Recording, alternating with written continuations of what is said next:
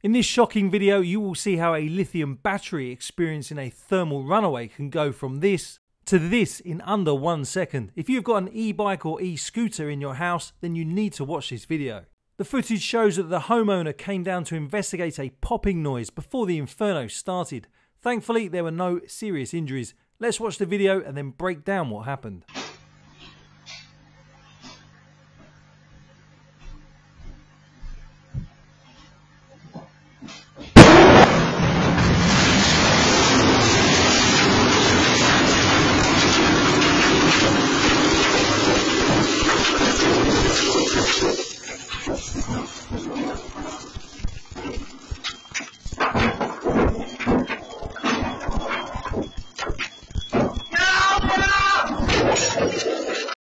Let's slow the footage down and watch it again.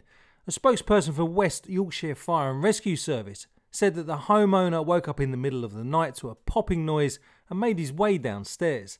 The popping noise that he heard was made by the batteries of an electric motorbike being charged inside the house.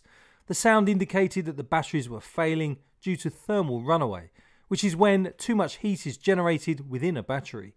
Seconds later, fire dramatically erupts and sets off the smoke alarm.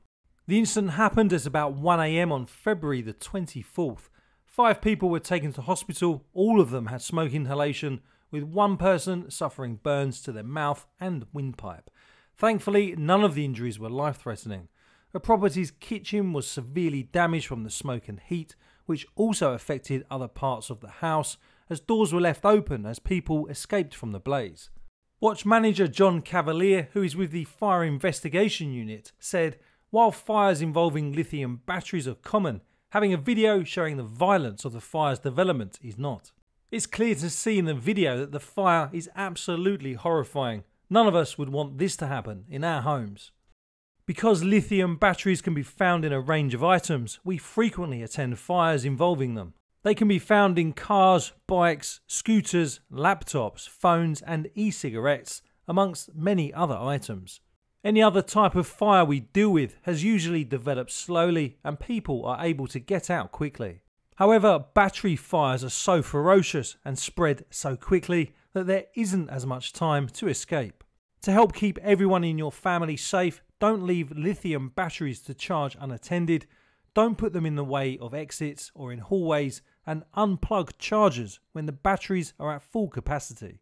I'd like to thank the owner of the house who gave us permission to use the video. It clearly shows the dangers associated with lithium batteries and could help to save lives in West Yorkshire.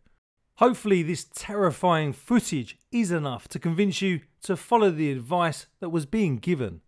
We here at Emergency Services News are seeing more and more reports of massive fires that have been started by lithium batteries that have gone into a thermal runaway. West Yorkshire Fire and Rescue Service have also given this advice. If you'd like to read all 10 points, then you can pause the screen and read it at your leisure. As always, we'd like to thank our channel members for supporting our channel. If you'd like to join them by becoming a member, click on the link pinned in the comments below. Please don't forget to give the video a like and if you haven't already, subscribe to our YouTube channel.